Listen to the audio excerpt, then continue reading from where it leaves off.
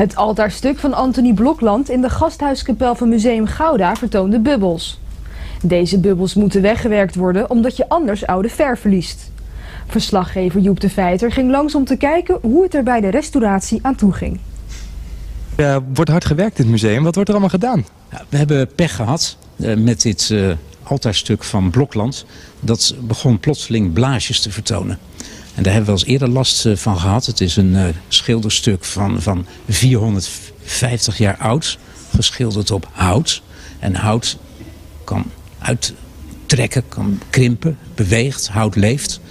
Maar deze restauratoren van de Art Clinic nu mee bezig zijn... is om die plakkertjes er weer heel voorzichtig af te halen.